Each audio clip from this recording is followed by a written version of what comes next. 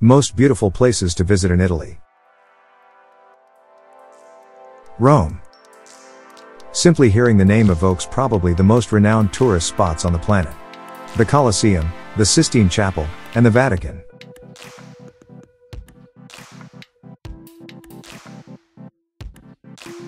This city is a brilliant mix of verifiable destinations, beguiling piazzas and neighborhoods, top-notch galleries, and notorious locales.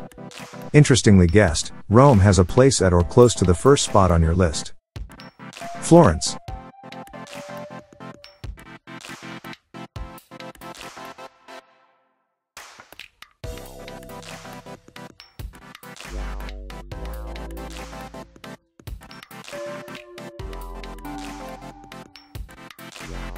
This city was the origin of the Renaissance and the craftsmanship exhibition halls here are a demonstration of that. Michelangelo's David, the astonishing Uffizi Gallery, the paintings inside the Arch of the Duomo, and the sculptures that are in plain view in the notable downtown area are dynamite sights to see. Tuscany,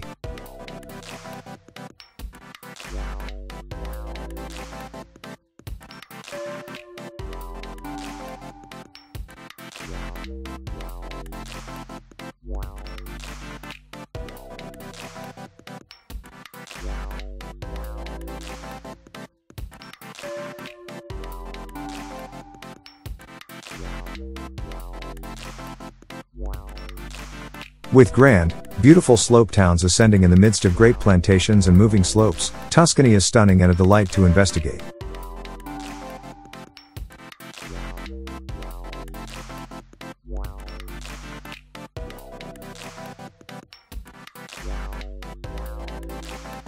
You could undoubtedly burn through multi-week in Tuscany, settling down in a Tuscan manner, with road trips out to the encompassing towns.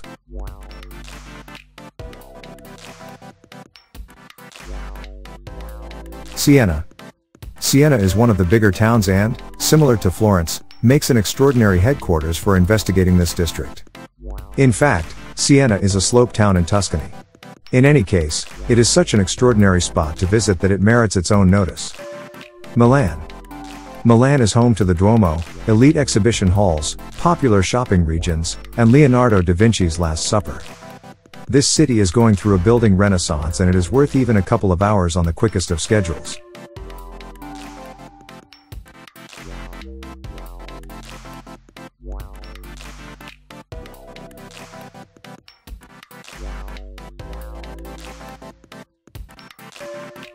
Lake Como. Settled at the foot of the Alps, Lake Como is quite possibly of Italy's most heartfelt spot. Visit tasteful Bellagio, explore the town of Varenna, voyage past the manors on Lake Como, and visit Villa Carlotta and Villa del Balbianello. Venice.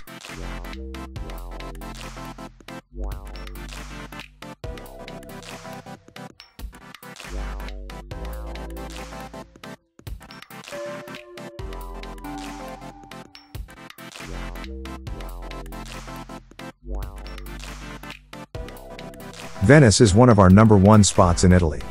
Why? It is little and reduced, wonderful to be investigated with only a couple of days time. Venice is heartfelt, memorable, and dazzling.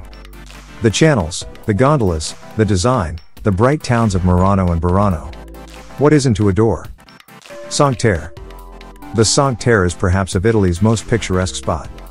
It is here that five bright, ravishing towns dubiously sit on the slopes that tumble into the Mediterranean Sea climb it or jump from one town to another via train. This is a beautiful spot to investigate in Italy.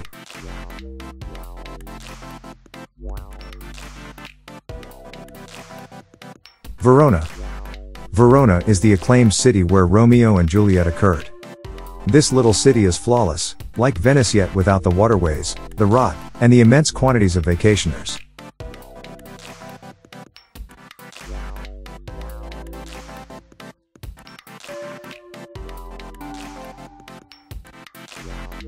Walk across Ponte Scaliger, visit Piazza del Erbe, visit the Basilica di San Zeno Maggiore, neglect Verona from Piazzale Castel San Pietro, and walk around the town at night, the Passeggiata. Pisa.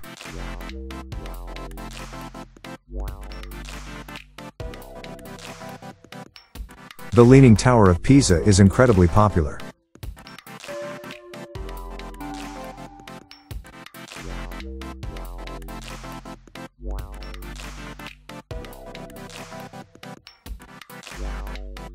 Yet, is it truly worth the visit?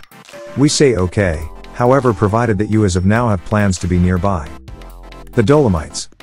The Dolomites gets our vote as one of the most outstanding spots to visit in Italy, since it is a climbing heaven, yet additionally on the grounds that the landscape is shocking. Pompeii.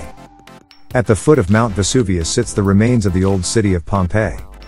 This is your opportunity to stroll through a safeguarded, old city and get one of Italy's best history illustrations. The Amalfi Coast. The drive along the Amalfi Coast is supposed to be perhaps of the most grand drive on the planet. Indeed, it's one more beautiful spot in Italy, yet be careful, assuming you are here in summer, these streets get obstructed with drivers and vacationers. Nonetheless, in the event that you appreciate waterfront towns, a few evenings in Positano would be an extraordinary encounter.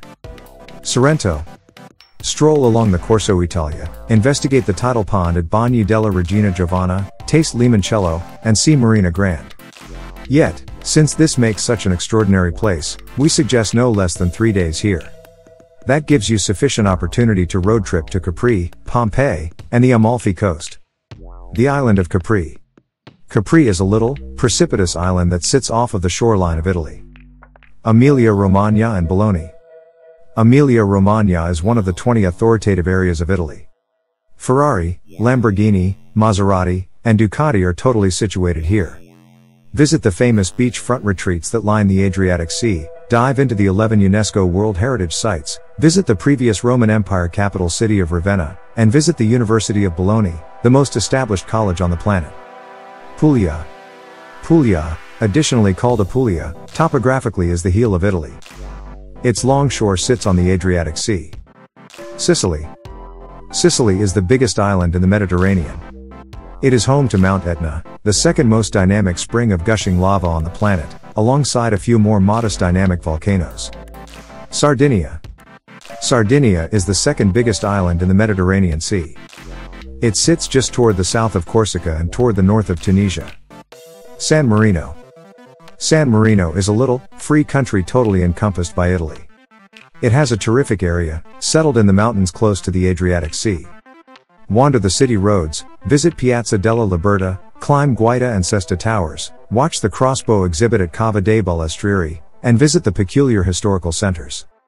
You can visit San Marino on a road trip from Bologna and the Emilia-Romagna district or Tuscany.